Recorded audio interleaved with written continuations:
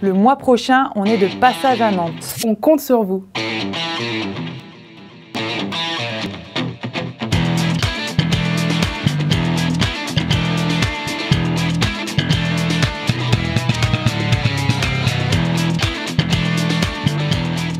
Pour réserver vos places, c'est ici que ça se passe.